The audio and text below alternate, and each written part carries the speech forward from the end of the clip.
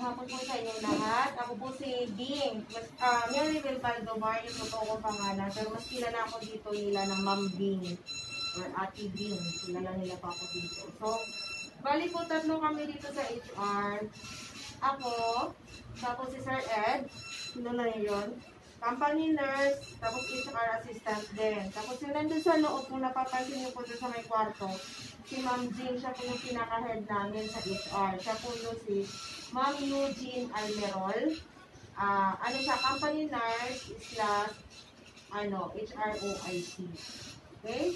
So, tatlo lang kami po dito sa HR sa daming empleyado ng Silver, Golden, Diamond, and Novato, and Malolos.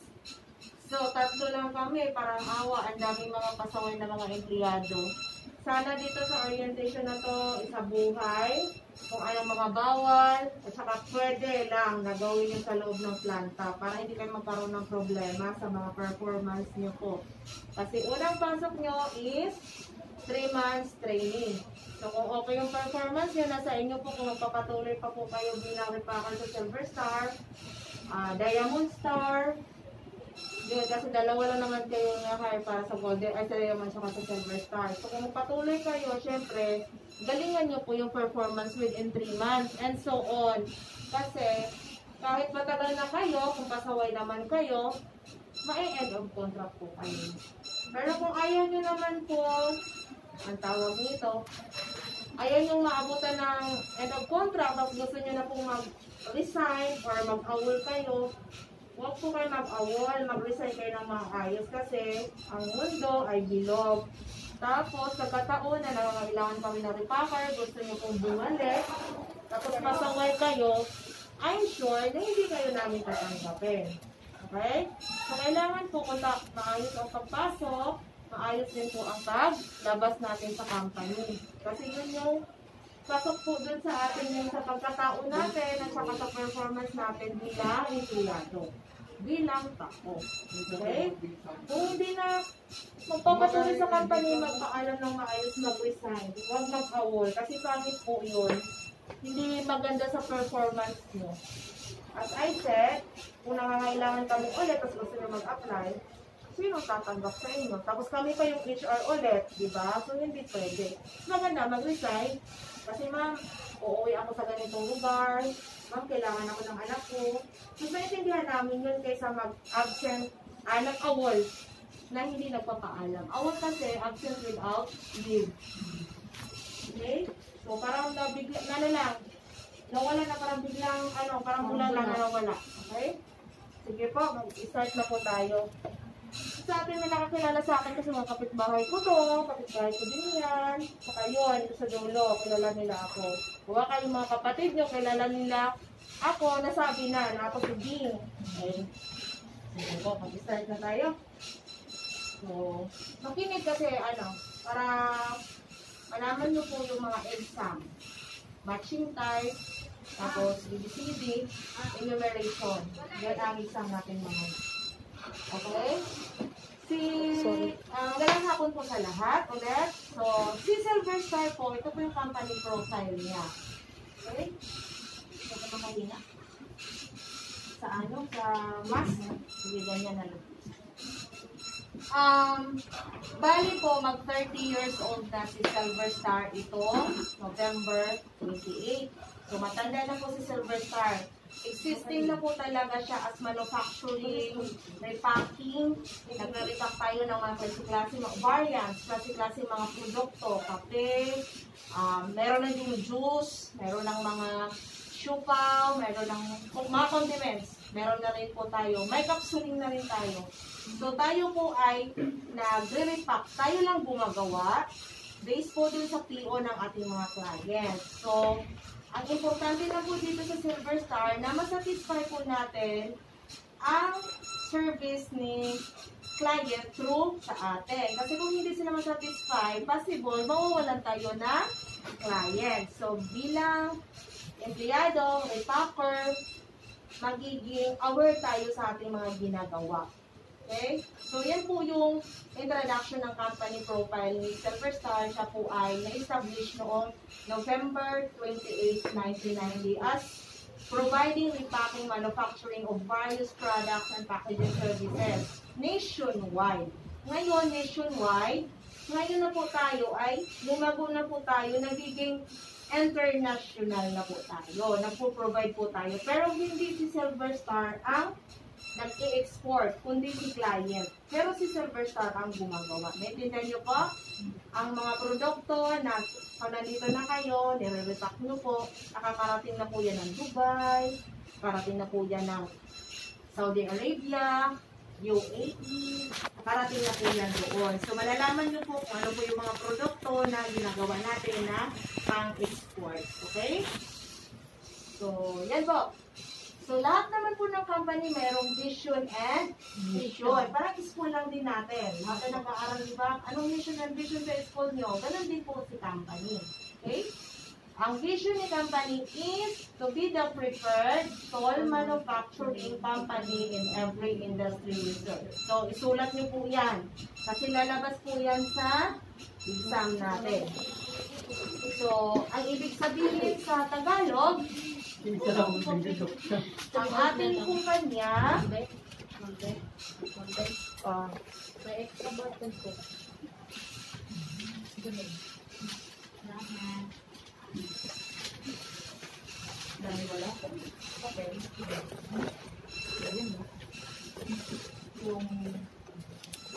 So, ano daw ang ating kumpanya? Kasi kumpanya nyo na po yan eh. So, kung ano po yung pipiliing toll manufacturing na kumpanya sa bawat industriya na pinaglilingkuran natin or namin. So, yan po ang pinaka-vision, pananaw ng company. Yung English lang po ang kunin nyo po. Para hindi matagal. Okay? So, yan po yung mission and vision. I-follow nyo po by heart, hindi lang sa i-memorize nyo po. Kasi po, may mga tao po dito, client tayo, na nag-audit. So, tatanungin po kayo, for example, magpipick sila ng empleyado, ikaw, Gio, alam mo po ba yung mission and vision ng company? So, i-memorize nyo po yan para perfect si company kung sakaling may mag-audit sa atin tapos masagot ng mga employees natin, mga kasamahan natin. Mas maganda yun. Magandang procedure. So, ibig sabihin sa Tagalog, kasama ng matatag na paniniwala sa patnubay ng Panginoon. Providence, divine providence is si Jesus. Ang SSRCI ay nangangakong patuloy na mapanatili ang tiwala at kumpiyansa ng aming kliyente sa kanilang mga produkto sa pamamagitan ng pagpapaunlad at pagpapatupad ng mga pamantayan sa kaligtasan ng pagkain, mga patakaran at pamamaraan. Siyempre, nandyan po yung kaligtasan kasi sa tayong gumagawa, baka mamaya nalalaso na yung mga clients natin na nag-inom ng produkto natin, possible sarado si company. So, tayo pa ay dadaan po sa mga food safety policy. Hindi lang basta-basta magtatayo ng kumpanya. Okay?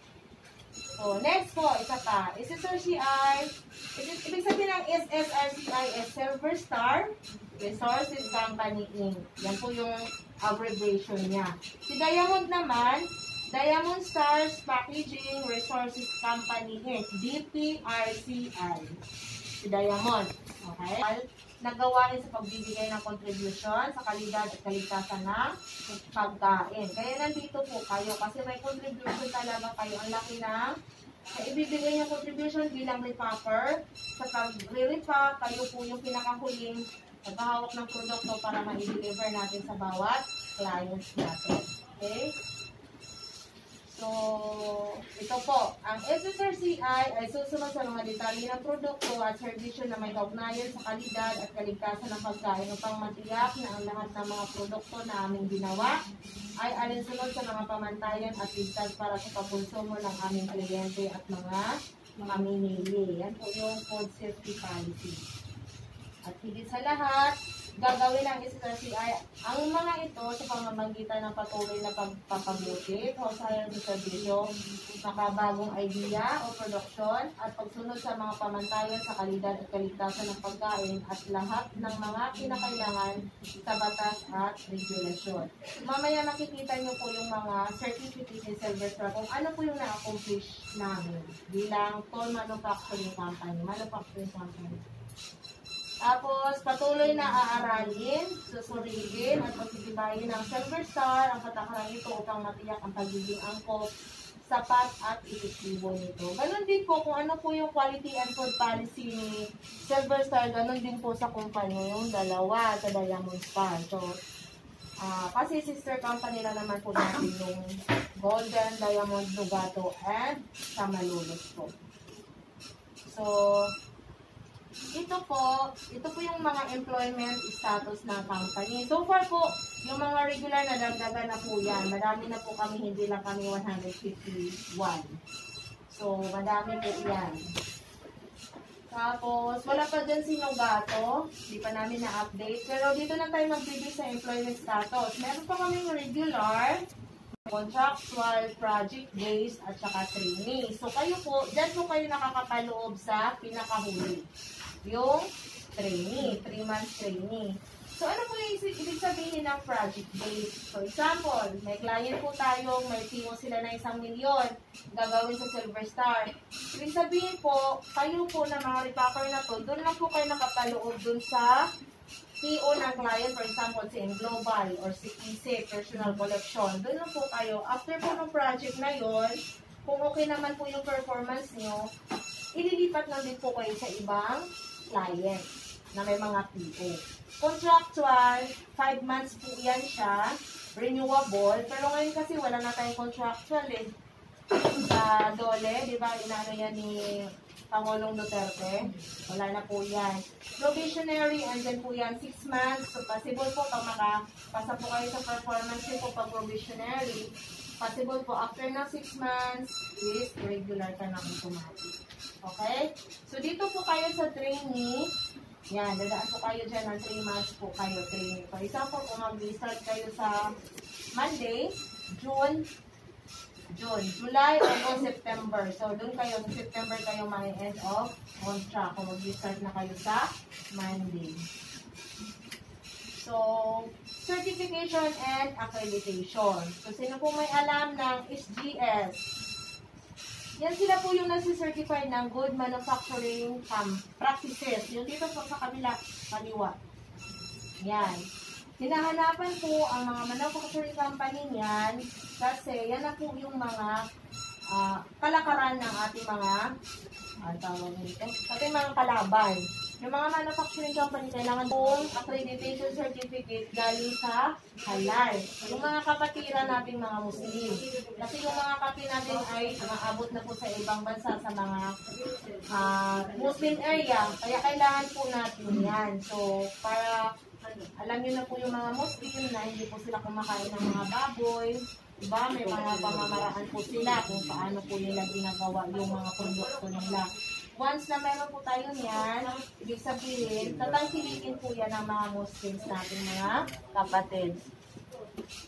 So, next po, yung FDA. So, alam naman po natin yan kung anong ibig sabihin, code drugs, diba? So, license po si Silver Star. So, certified po siya.